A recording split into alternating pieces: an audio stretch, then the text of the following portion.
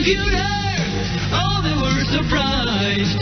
Superbook got programmed in. Now it's computerized. Now it's computerized. Take a look. Welcome to Thought Crime and Keto Crime, where Tracy does the sleuthing so you don't have to.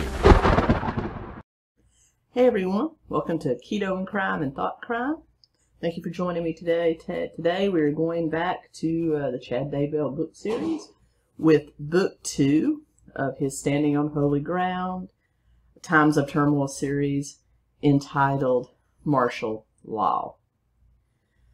Okay, uh, just a little preface to this. Bef- for those of you that are concerned about me actually giving money to Chad Daybell, I actually bought a couple of these used. One of them I did, another one I did download, Audible. I did pay, I believe, $7 for it, which means he's probably getting a grand total of about $6 for me, so I don't think it's it's going to fill his coffers too much. So I just wanted to relieve everybody because there seemed to be a lot of interest in finishing the book series. So I will be doing all of them. The the last this one as well as the last two. And I will also be reviewing probably tomorrow a copy of a podcast I was able to find starring Lori and our good friend Melanie Gibb. So I'll kind of be reacting and talking about that tomorrow. But um, also, just wanted to also shout out to everyone, all my new subscribers, as well as those of you that have been so kind to comment uh, on the videos. I just want to let you know that I am, as far as talking about LDS Church or Mormonism, I am speaking directly from these books that I am reading and what little bit of rudimentary knowledge I have. I'm not meaning to insult anybody that's LDS. I think I've made it abundantly clear that Chad Daybell is definitely fringe if he's LDS at all. So um, I'm quite sure that his opinions do not reflect the opinions of most mainstream LDS members. So just want to put that out there. I'm not trying to come down hard on anybody. And with that being said, as always, your subscription always helps the channel. Also, if you hit that notification bell down there to get all videos, that way you'll know when I upload. I upload on average about three times a week. Also, my channel is heavily demonetized because I am a true crime channel, so if you want to check out the links below to my Patreon, my Cash App, PayPal, all that good stuff's down there, as well as my comedy album. I am a stand-up comedian that tours the country under normal circumstances. I'm coming to you today from uh, near Sarasota, Florida. We're here for a, a family vacation we'd already paid for, so I am going to be continuing to bring you some stuff, hopefully some stuff from the beach too. So, anyway, but like I said, supporting the channel is never, monetarily is never uh, required, always appreciated. But the most important thing you can do is hit that like button for the YouTube algorithm, leave a comment, and tell other people. So, with that being said, let's dive into it. Chad Daybell's Martial Law. Right, as you'll recall, in book one, we left off with Nathan Foster and Marie Shaw trapped in a stained glass museum in Chicago with the entire world coming apart. Well, in the epilogue to this book, also written, written by Chad Daybell and narrated on Audible by his son Seth,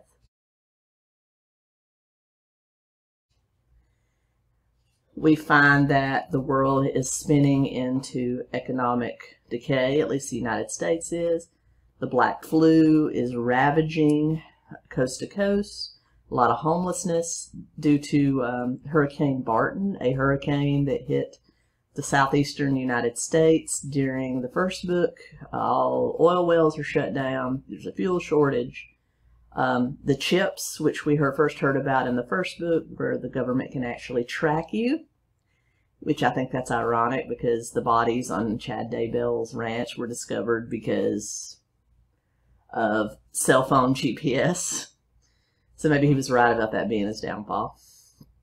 That's now mandatory, and people that do not have it are being hunted down and forced to take it or imprisoned. And so, with that, we pick back up. A lot happened in the week. These two have been in that stained glass window museum. So with that, we pick back up with Nathan Foster and Marie Shaw in Chicago. So they're trapped in the stained glass window museum. They're talking about how to get back to Utah. So Marie actually suggests that they actually go back to her apartment in the Bloomingdale building, the one she abandoned when uh, everything kind of went to heck, because she keeps, she had stashed some bottled water and some canned pork and beans there, because pork and beans was her comfort food that she used to eat at night, and said that they go back there, she's hidden some actual cases of pork and beans and bottled water under her bed. She had them there for easy access, I suppose. And if they go get those, they can load up and use that to give themselves nourishment as they try to make it back to Utah. Uh, Nathan agrees that this is a good idea, so they start out uh, toward the Magnificent Mile on Michigan Avenue in Chicago, where her office and apartment building was. And they notice that it's almost completely burned down. All the skyscrapers have either been on fire or are currently on fire. They see a lot of dead bodies, a lot of general misery along the Magnificent Mile, but they do make their way to the Bloomingdale building, which surprisingly is still intact. So they take the stairs and they manage to make it all the way up to the 26th floor where her apartment was. And they go inside. Now, it did make a point of saying that Marie tired out at the 10th floor and Nathan carried her up the rest. So, romantic. So they did make it into her apartment, which was completely ransacked except for her bedroom. And underneath her bed, they did find that case of bottled water and that case of pork and beans. And they open it and they each eat a can of pork and beans and then they kind of start making fun of each other because instead of getting a spoon, they just sort of drank it down. If you've ever seen a can of pork and beans, has a lot, a lot of liquid in it. And then they make fun of the fact that Nathan has some of it caught in his beard because he hasn't been able to shave in a while, so he has a long beard. And then they go into the bathroom to see if he can wash it off. He inadvertently turns on the bathroom sink. Of course, no water comes out because all utilities are off. And he starts to, he opened the top of the toilet and washed his beard in the water in there. And then, or took some water out, put it in a container, and wash there, and then they they basically put the rest of that water into a jug for washing later on. And Marie makes a comment about kind of nasty, and he explains to her because women in this book don't know their butt from a hole in the ground. Uh, that that water's technically pretty clean, but don't drink the water in the bowl, as if anybody with common sense wouldn't know that. Come on, Chad.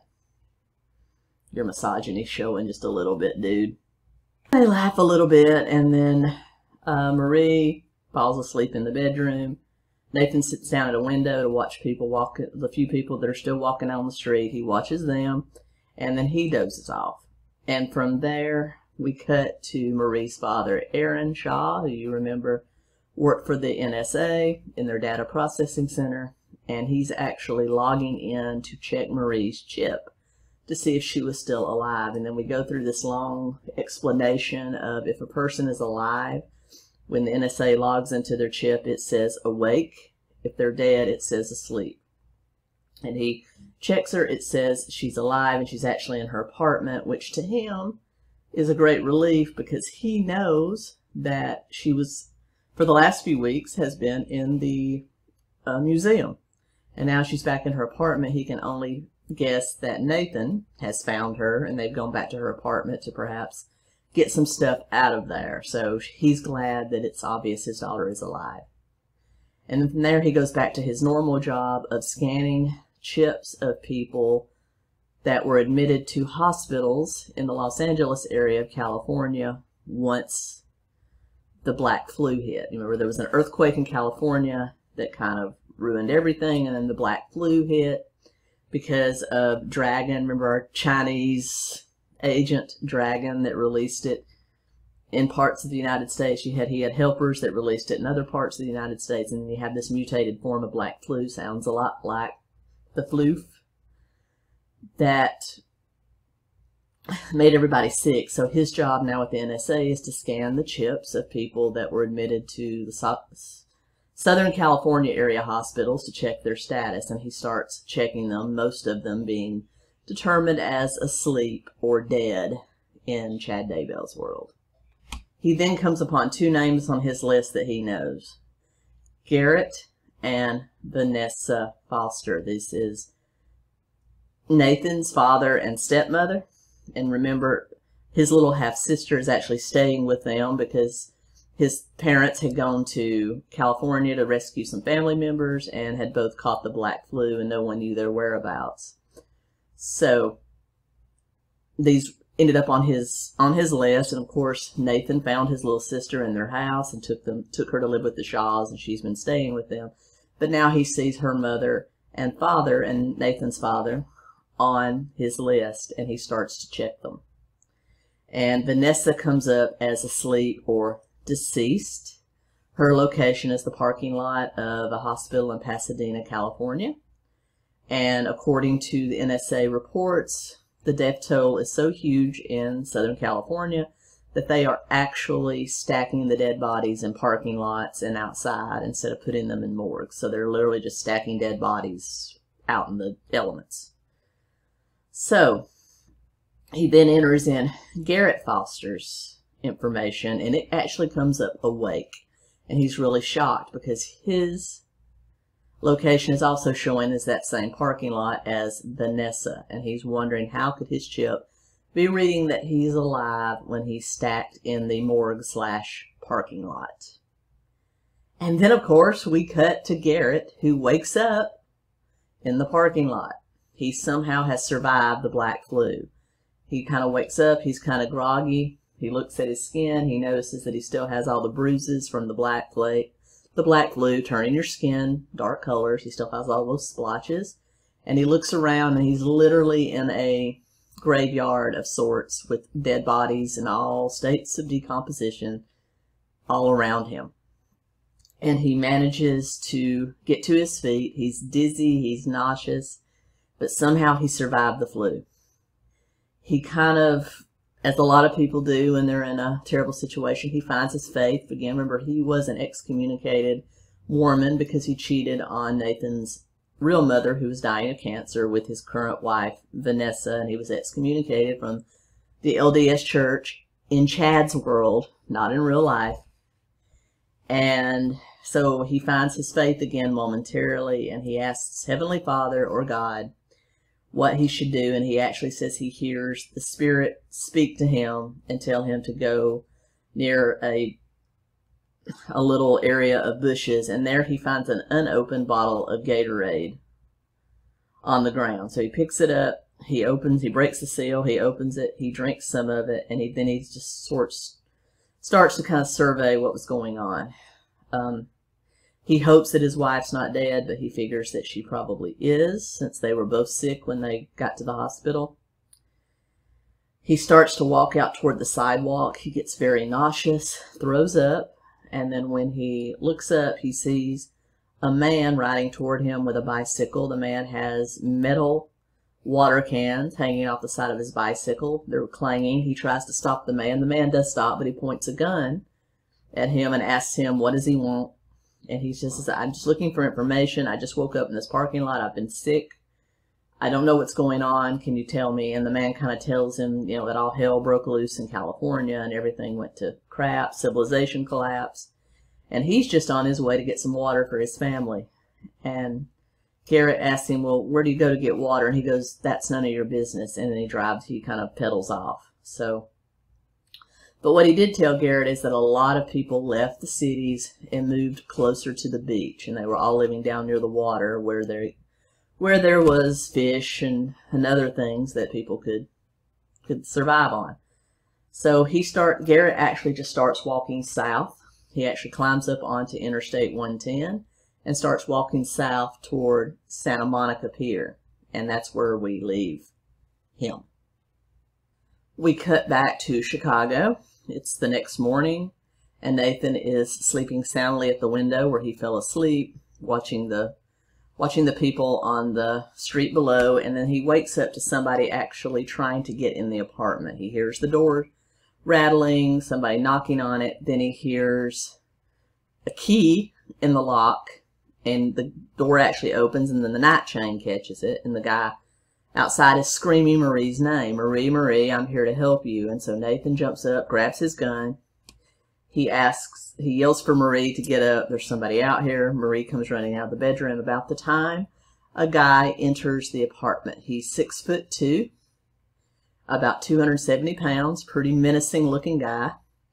And he's wearing a NSA uniform.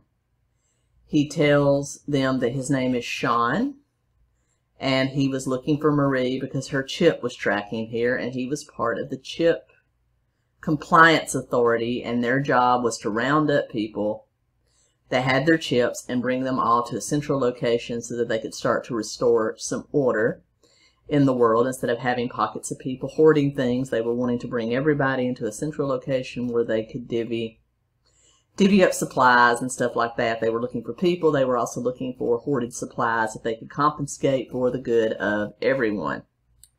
Well, Nathan, of course, holds him at gunpoint and says they don't plan to go with him. Neither do they plan to give up uh, the water and beans that they have for themselves. And Sean kind of taunts them and says, we really have no choice because people know where I am and they're going to be coming to look for me. So you're kind of kind of stuck. Might as well just come along with me. And then Nathan says, well, we're not going with you, but I will get some information from you. And the guy starts snarling and Nathan pulls back the hammer on his gun and, or not the hammer, what is this, 1875? he lets him know that he's chambering a couple of bullets and he puts the gun up to his chest and says, you will tell me what you want because I have no qualms about killing you. So the guy kind of relents a little bit and then Marie walks into the closet, takes the cord off the vacuum cleaner, cuts it off, and ties him up. So the guy's a little little scared by now, and he does he does give them some information. Basically, he tells them that the world has gone to shit because of all the natural disasters, economic collapse, the black flu, and that they were just rounding up people to bring into a central location to help rebuild society. He also said that things were made worse because the government no longer could afford it and they cut off all unemployment benefits and welfare. So poor people were kind of in a bad way and there was a lot of looting and rioting. He also alluded to the fact that the gangster named Brick that we first met in the first book that was actually under NSA surveillance for being a criminal, they had actually allied with him and he was helping to restore order in Chicago, and his men were actually working for the NSA, and that he was technically in charge of Chicago, and that they would be coming to look for him. So Nathan says, "Well, we're not going with you, and we're gonna." So he he frisks Sean, the NSA guy or the CCA guy, takes his two pocket knives that he finds on him. He also takes his chip detector, and he's about to gag him and put him in a closet so they can make their escape when the guy jumps up, kicks Nathan, and runs out. So they know that it won't be long until men come back looking for them. So they go into the bathroom and they cut Marie's chip out because they don't need to see, have, be tracked. Basically what they do, it's in her left hand. Nathan takes a razor blade from a, a straight razor and cuts along the scar that was left on her hand from the insertion of the chip and pops it out and then crushes it, leaving it in the apartment. They then say, well, we got to get out of here. They bandage her hand. They take their, they take a little rollaway suitcase. They put all their supplies in it and they roll towards the stairwell. They go down to the second floor where the mall that was in the Bloomingdale, Bloomington, Bloomingdale's building was. And they actually hear people rushing up the staircase. So they know that Brick or the, you know, NSA, CCA guys are there looking for them. So they duck into an old clothing store in the mall and wait for the people to pass. Once they've passed, they look around, they change clothes, they get clothes that are left on the shelves there, though there's not much. They also find a wheelchair that was there, like an oversized wheelchair for larger people. And they said, well, we can use this. So they put the beans along the foot area of the wheelchair. They have a disguised Marie sit in it. They also make a sign with cardboard and a magic marker that say black flu victim need help. And so they kind of just roll out of there with, with all that stuff. And of course people avoid them because their sign says black flu. No one wants to catch it. So they use that to kind of start making their way out of Chicago. So we cut back to Garrett, Nathan's dad, walking towards Santa Monica. He's drained his Gatorade bottle and he's using the Gatorade bottle to get fresh water whenever he can find it. He's using the drippings off of overpasses and even some cleaner looking puddles for drinking water. He was going to stop and sleep in this minivan, but inside of it was a, a dead body of somebody that actually died from the flu. So uh, that qualmed his uh, desire to sleep in that minivan, so he ended up sleeping on the side of the interstate. Remember, he's walking along Interstate 110, a pretty long thoroughfare in the LA area. And so he actually makes it down to the exit where Santa Monica Pier is, and he's stopped by some armed men. Also, while he's walking, he's having this diatribe in his head about being the last uh, Lem- uh, or Nephite. Remember back uh, we talked about him.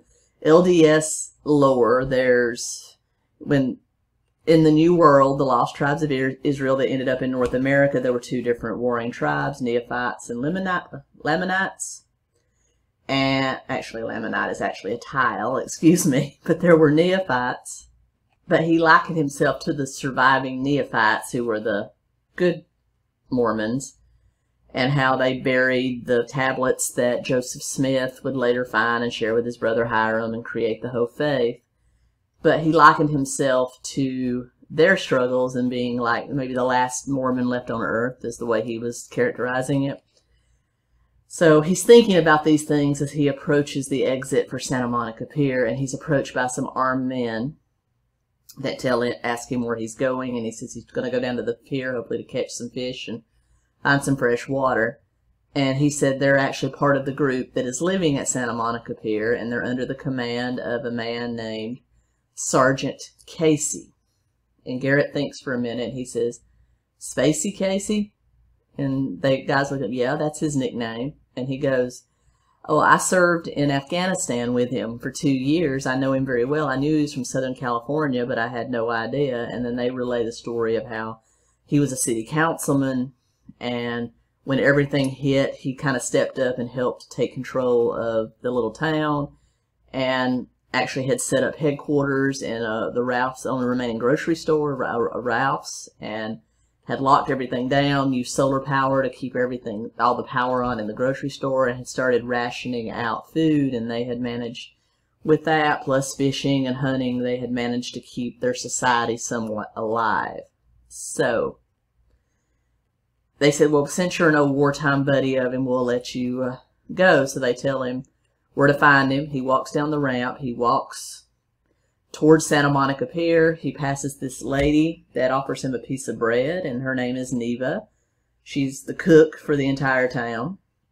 And he eats the bread, is very grateful. She also gives him some fresh water, and then asks where she can find where he can find the Ralphs. He tells her he's a friend of Sergeant Casey. So she leads him to the Ralphs, and of course, Sergeant K- his friend Sergeant Casey realizes that that's his old war buddy, and they're happy to see each other. And he invites him to join them, and he actually gives him like a hamburger out of the Ralphs, and feeds him and says, "You're welcome to join. You just have to work here." And he goes, "I'm ready to work. I'll fish every day." He says, "Well, that's the right attitude."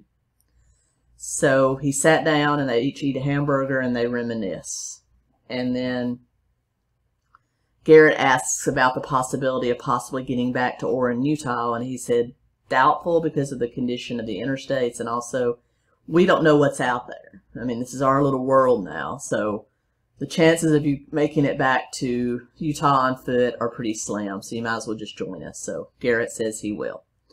Then we cut back to Aaron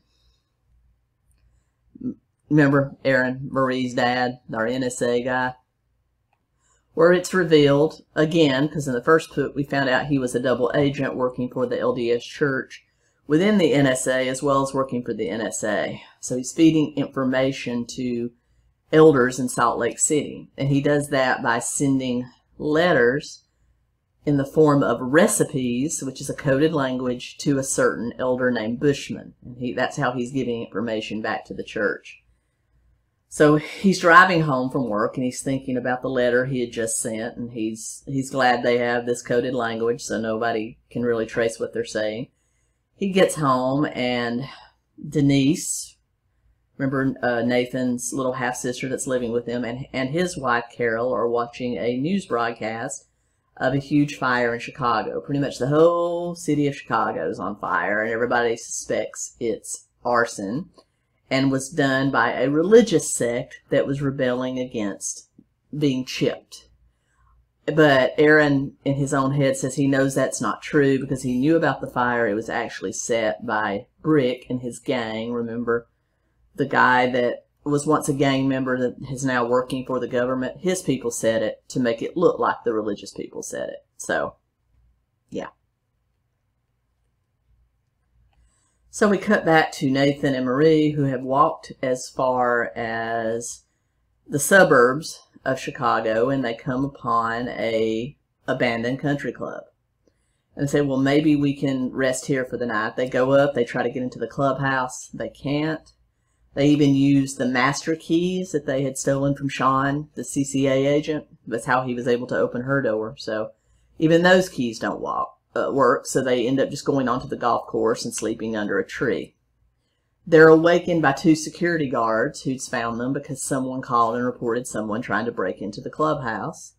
And they are taken by the guys because they neither of them have chips, and the security guards consider that odd. So they take them up to the clubhouse, put them in the office, and say the club manager will be here to deal with them, and they will be calling the police because you've got these people with a wheelchair full of food. They're not chipped, so it's a little bit of, sus of suspicion. Huge black guy. Those are his words, not mine. Comes in. He's very angry with them. He demands to know who they are, why they're at his country club, and what their intentions were. And they try to explain to them that they're just trying to get home to Utah. They're Mormons. They don't believe in the chip and they're just trying to get home and can't they just go? And he says, no, we are law-abiding citizens here. We're going to turn you into the CCA because you don't have a chip. And then he kind of glares at them and says, but I, I want to know why you don't have a chip. And there's only one right answer to this. Why don't you have a chip? And they both explain to him that they're members of the LDS church they feel that the chip is a sign of the end times, could possibly be the mark of the beast. They don't want to be tracked. They just feel it's not right and they are willing to die before they get the chip. Once they say that, this guy's eyes light up. He hugs them and tells them that he's not going to call the police. He just was testing them because he's the pastor of a Baptist church that is living at this country club full of people that did not take the chip for the same reasons and that they are welcome to join them because they are about to leave and head for a Bible camp run by the Baptist Church in Springfield, Illinois, where they will try to wait all this out and live together. Well, of course, Nathan and Marie are happy. They say, of course, they will join them because they're actually trying to get as close to the Illinois Iowa border as they can to make it back to Utah. So they're just trying to get to an Illinois border and get out of Illinois. So they say, okay, yes, we will go with you. So he takes them down to the pavilion in the country club where they're living and immediately introduces them to everybody. They feed them. They give over their food to the people that they were carrying, just very generous. And the pastor, whose name is Haskell, Pastor Haskell and Nathan had this long conversation about faith and how faith is faith, and it shouldn't matter what church or what denomination you're in, they're all going to the same place. Meanwhile, Marie has gone over to where all the children are and offered to help babysit because in Chad Daybell's world, that's what women do. They simply take care of children uh, when they're not accusing them of being zombies and killing them. They babysit them. And so she immediately makes friends with a little girl named Sylvia, who's four years old. And then they say, well, we're about to have a Fourth of July celebration. I mean, I'm glad uh, that's patriotic and everything, and I, I plan to do fireworks myself on Fourth of July, but it just seems an odd thing to throw in there. But they have some fireworks, and they're going to shoot those off, and then the next day they're going to head out for Springfield. So they watch the fireworks, then everybody goes to bed. The way his writing is, I mean, I know he's just trying to be very detailed, like a lot of great writers, but some of his details are completely uncalled for. I don't need to know that they went to bed.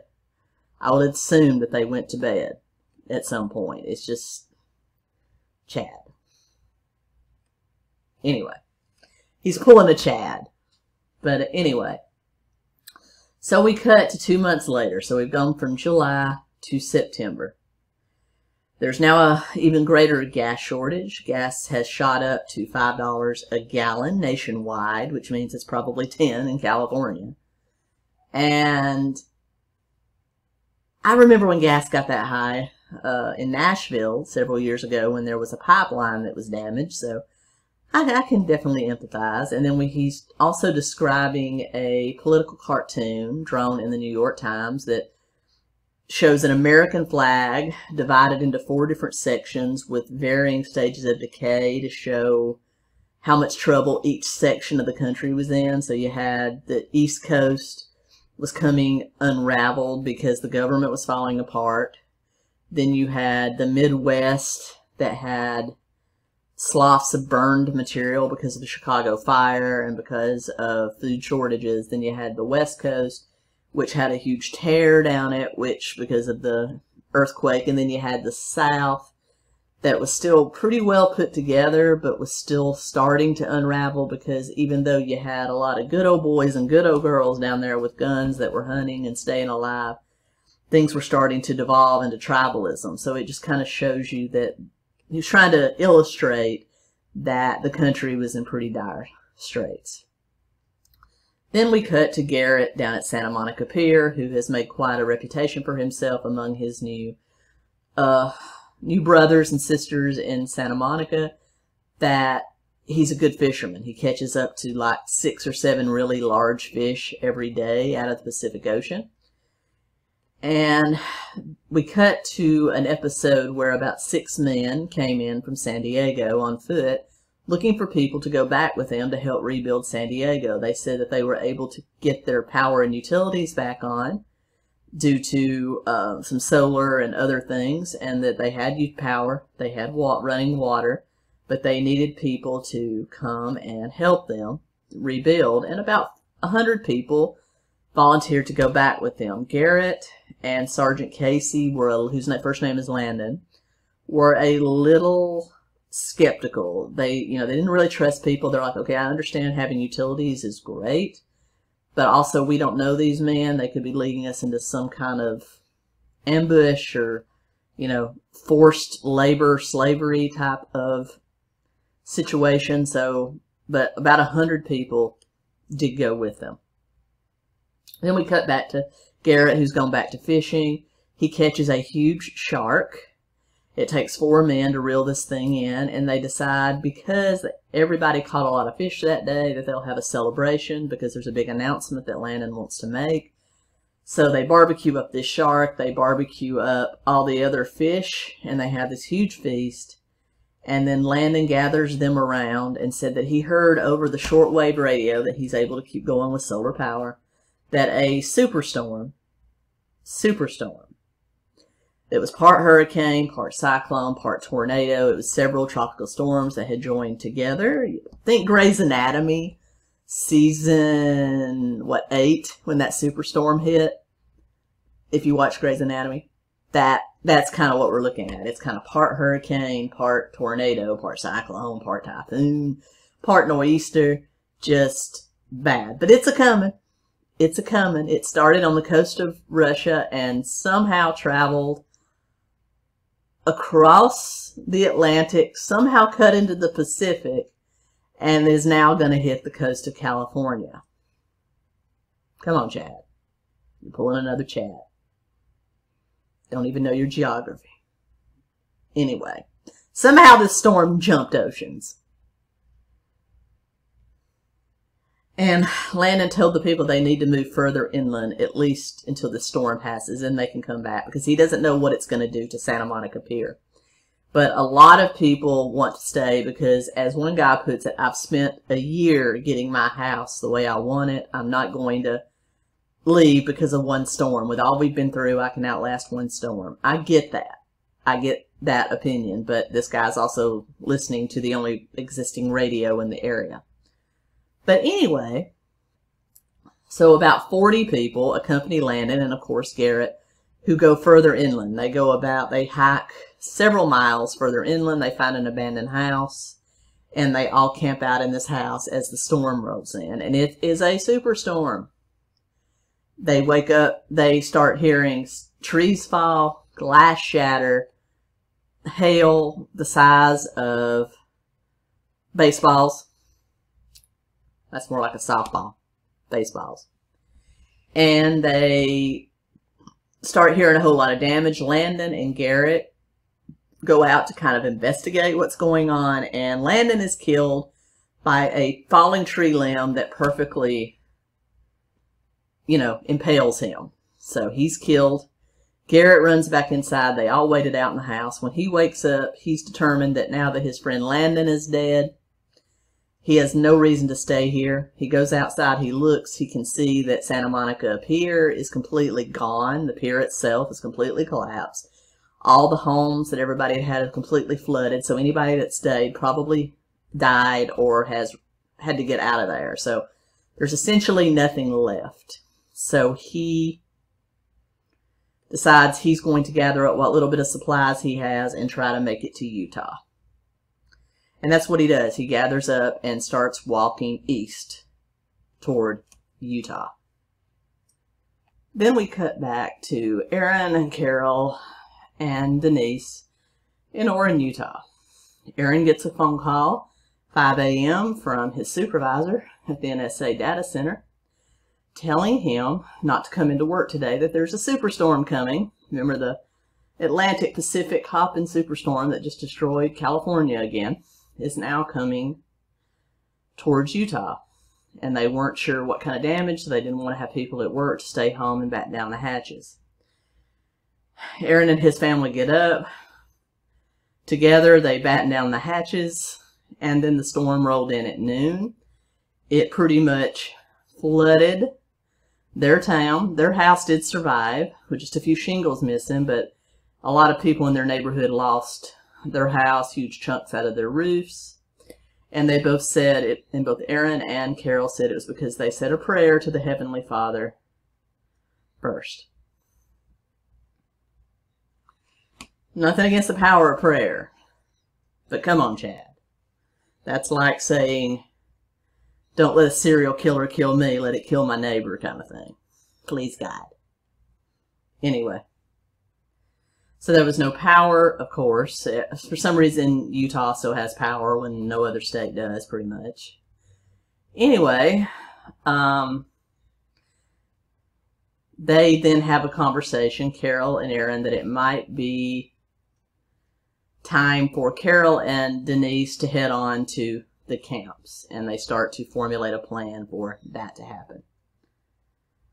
Okay, then we cut to Springfield, the Baptist camp, where Nathan and Marie are with the, their Baptist friends, and they've hiked 200 miles to make it. They only lost two people. They were an infant and an elderly man. Maybe they were zombies. I don't know, but that's who they lost on the march. And remember, not making fun of death, I'm making fun of fictional death, just so y'all know. Anyway, uh, Nathan has this long diatribe in his head about how he admires that Marie has repented from the sins of trying to have a career and a life outside the home. I'm paraphrasing.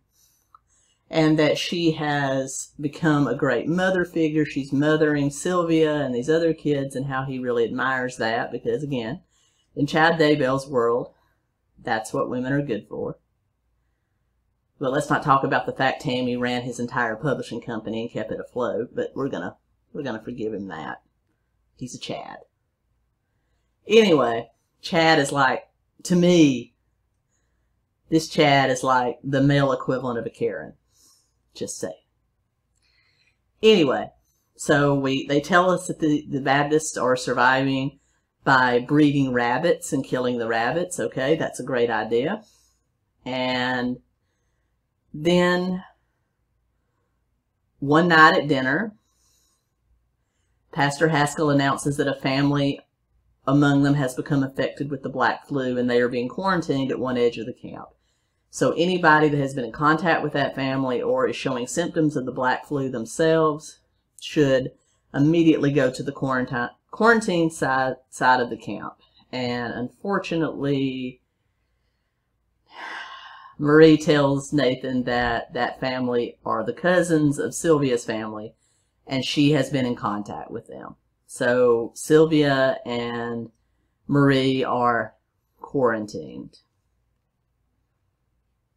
Oh, and then that tropical like superstorm, the jump, you know, the ocean jumping superstorm has actually made it to Illinois and has picked up power, ignoring all the rules of meteorology. It has picked up steam and it's about to hit the camp. So they all batten down in some of the meeting halls on the camp. They all survive with just a few broken windows, but then the next day, more people show symptoms of the black flu, including Patrick, uh, Pastor Haskell. So he has to go down and be quarantined. He does tell Nathan that he can't see Marie right now because she's resting. That's code for she's about to die. But Nathan hears a call in his spirit to go in and see her. So he does. He finds her on a cot with Sylvia, breathing very shallow, covered with the black bruising and the pus-filled pustules all over her body. And he hears another call from the Spirit to lay his hands on her and lay a missionary's blessing on her. So he does, and as soon as he does that, the disease just goes away. Her pustules dry up and fall off. She stops coughing. She can breathe. You know, all good. All You may not understand this. I don't either. All we need is Nathan to come in and touch us, and we'll be cleared of the floof. Anyway, um, he also does the same to Pastor Haskell and everyone else that is sick there. He heals them. And then he feels another colony spirit telling him and Marie to head for the city of Nauvoo, Illinois. There is a temple there. This is supposedly where Joseph and Hyrum Smith were arrested and killed by a mob back in the 1800s. And they are to do a pilgrimage to Nauvoo. And so they start out on foot with supplies given to them by the Baptists to reach Nauvoo. So we're in Star Wars Phantom Menace. We're going to Nauvoo. Cut back to Aaron Shaw, who is visiting LDS wards where some people did not go to the camps. And he has this long diatribe about lap saints. So you could have completely cut that part out, Chad, and nobody would have been the wiser. And then we go to local reports talking about how the superstorm has wreaked havoc coast, coast to coast. It made it all the way to North and South Carolina and then it's back out to the Atlantic. So it started in the Atlantic, it looped around, and it went back to the It's a boomerang storm, y'all. Boomerang storm. Anyway, it's wreaked havoc coast to coast. So, Aaron's back at work at the NSA Data Center. They tell everybody to gather in the conference room for an important address by the president. And the president, who is until this point yet to be named, says that due to all the stresses on the country by natural disaster after natural disaster, that he has actually invited United Nations peacekeepers in to help bring law and order, food and medicine to help rebuild the country, that these countries want to repay the USA for everything else they have done for other countries. And that as a result of this, to help them out, he is introducing martial law. No large gatherings, curfew every night, and that you are to report and basically surrender yourself to these UN peacekeepers. Then he just cuts it off. Um, and then Aaron does this long diatribe in his head about looking around the room and seeing how many people supported this president and his call for real change and how he's betrayed them. So this president is obviously Obama. So Chad didn't like Obama. Oh, big whoop-de-doo reveal. So, anyway, that's when Aaron makes the final decision that his, that both Denise and Carol need to get to the camp. Then we cut back to Garrett walking up, walking east, trying to get to Utah, but he arrives at San Diego. He figured San Diego actually had utilities. Remember the people that came there and recruited people that maybe he could get some supplies there. So he stops at San Diego, but he sees these strange vehicles and uniformed men unloading supplies and large armored vehicles. He's basically run into a contingent of UN peacekeepers. He kind of hides from them and kind of watches what they're doing, but he doesn't notice a Jeep with two Asian soldiers. That's his words, not mine. That pull up behind him and say, Garrett Foster, halt. So these people have been tracking his chip. They all have chip detectors.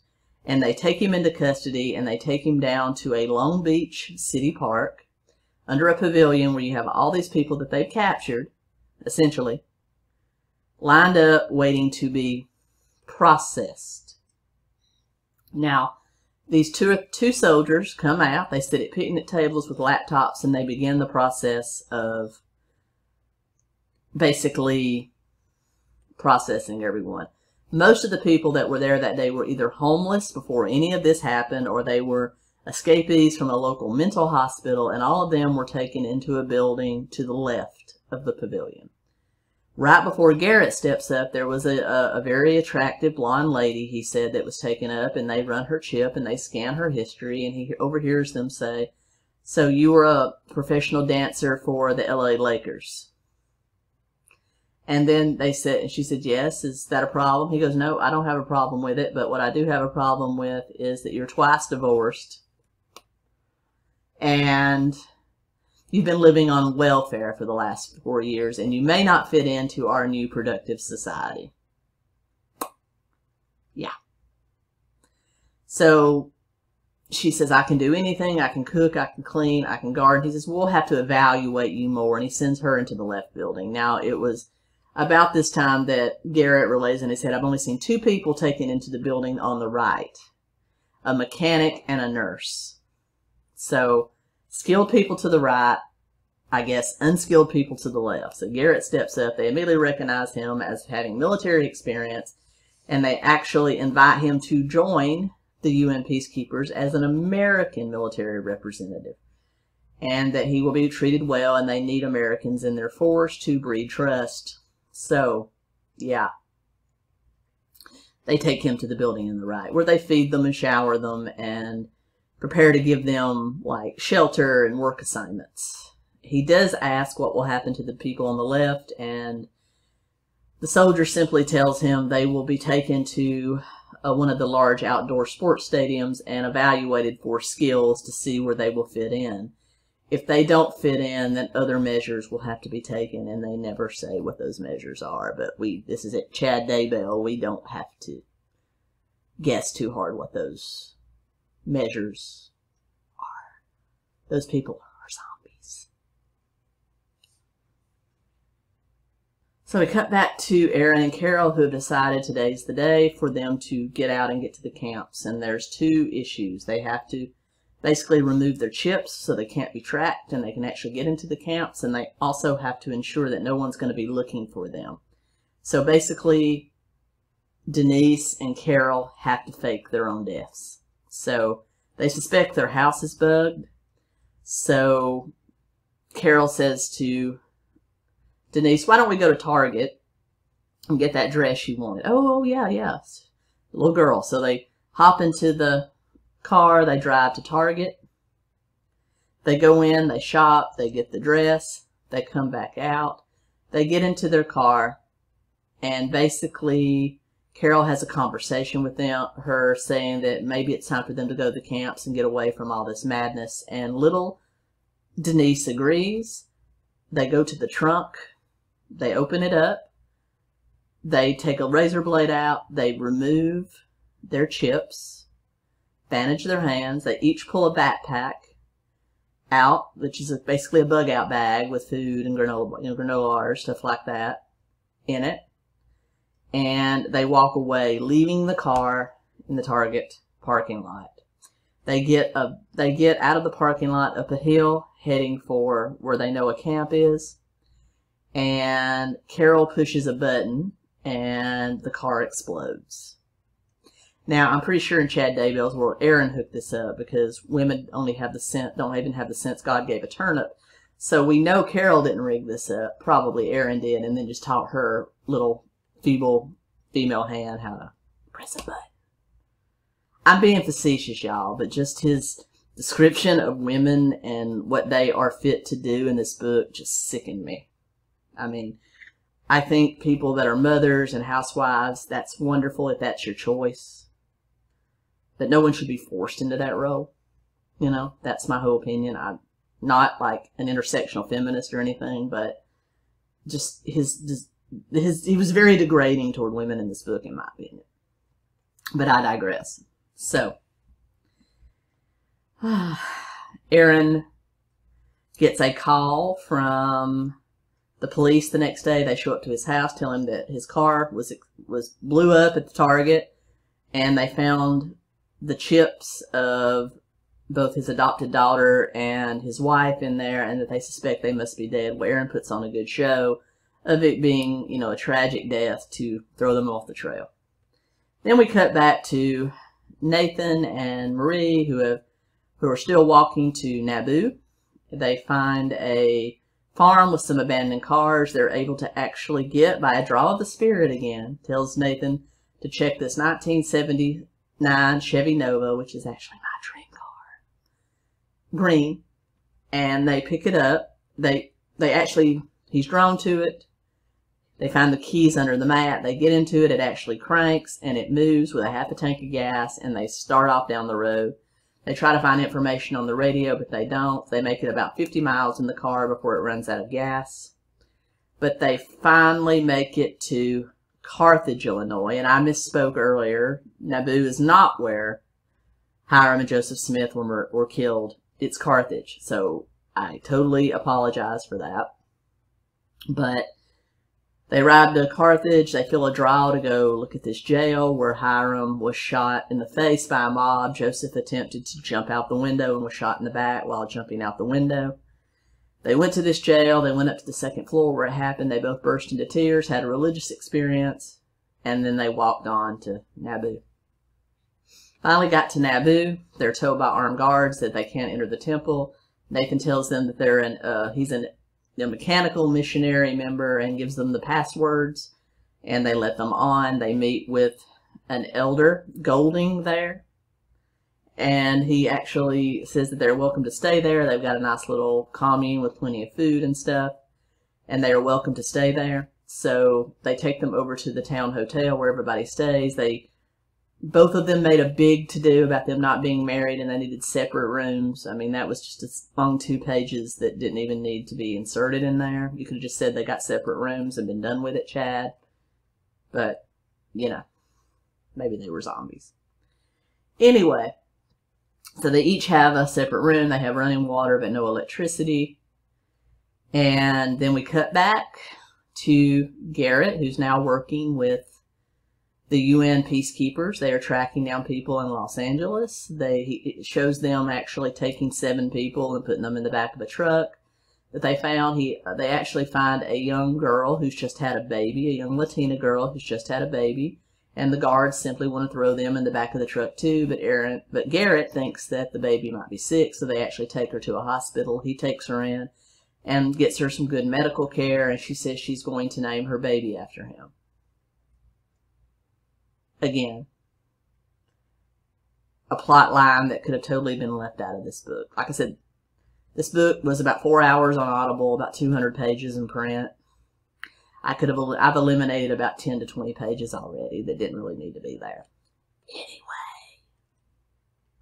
Garrett becomes a big UN hero when he volunteers to read an announcement that will be broadcast from all UN vehicles saying that they are only there to help. To please surrender yourself at a local library or post office to get food and water and medical care. And they broadcast his voice, and people in Los Angeles come out and line up at these places, and they're able to basically speed up their job because of Garrett's idea of actually promoting a, a message of peace rather than just rounding people up. And as a result, he rose through the ranks. He gets his own room at LA City Hall, where the UN have set up temporary headquarters, and he's introduced to a Russian commander of the UN task force named Kromov, who basically lets him in on their master plan, which is to anyone that is not skilled will be eliminated, killed, zombified, gone. Anybody that is skilled will be basically used as constricted labor to rebuild the United States. And then uh, Garrett asked, well, then you guys will leave and we'll have our country back. He says, no, the USA has committed many, many sins. The UN will actually be divvying up the United States between uh, members of four countries that are members of a coalition that will control the United States from here on out. The United States will never return to its normal status that you guys lost. You guys screwed it up. You guys had it, you lost it, kind of thing. And he says, so what you need to do is decide what you're going to be loyal to, a lost cause or the USA, or are you going to swear allegiance to the coalition and become one of us? And so he says to save his own life that he'll become part of the coalition. He takes this oath, which he later says is the exact opposite of the missionary oath he took in the LDS church. I'm not sure if that actually exists, but in Chad Daybell's world, it does. So Garrett has become at least an unwilling member in the evil force in this story. Meanwhile, Aaron is driving to his job at the NSA. A huge earthquake hits. The road opens up. He sees several of his co-workers killed on the highway toward the data center a riot breaks out when the data center is locked down. They won't let the employees in, so they're trapped on this road, and the employees basically scale the fence and start beating the security guards. And that's when Aaron finally decides he's had enough. He basically walks down the road. He finds an abandoned car. He shatters the glass. He cuts his chip out. He wraps his hand in an abandoned jacket and decides it's time for him to go join Carol and Denise in the nearest camp.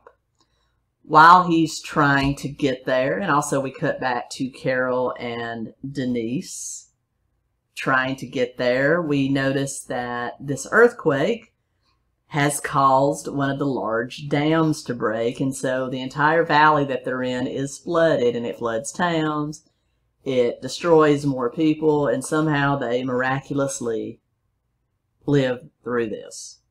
Meanwhile, we cut back to Naboo, where Marie is talking to Elder Golding about wanting to marry Nathan, that she thinks she's ready. And he says, Well, let me talk to him. So basically, he goes and talks to Nathan, and Nathan tells him he's really pleased with how Marie has given up the sinful life she once had, i.e., wanting a career, and is now ready to just become a wife and a mother. So they get married. They basically go through this whole endowment ceremony for Marie. They each have the questionnaire and stuff about joining the temple. Um, Marie has to go through a question and answer session with Elder Golding, but Nathan has a endorsement from a elder that out, pulls out of his wallet that gets him in. I guess that's the get out of jail free card. And then they actually seal them in a ceremony. And then they make a big to do about giving them the honeymoon suite at the hotel. Now, cut back to Utah where uh, Aaron is on his way to the camp. He passes a, a house that has actually been flooded, but the family is trying to get two young people, two young girls out of the basement that are drowning. He helps go through this house and helps them pull the girls out to safety.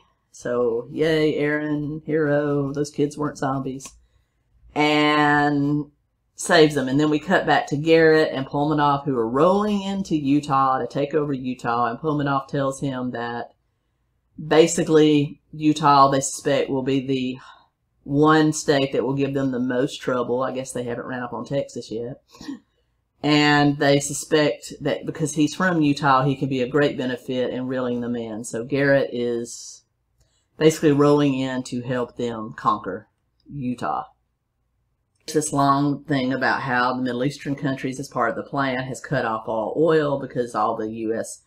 oil rigs are down because of all the storms. U.S. is just without any energy at all, and it, they delve into more economic collapse. And then cut back to Nathan and Marie now on the road towards Salt Lake City because the day after their wedding, a mandate came down asking all MM members to return to Salt Lake City to Elder uh, Elder Miller to help rebuild Salt Lake City after the flood. You also have Aaron arriving in Salt Lake City and making it to the home of Elder Bushman, the one he's been sending his coded messages to.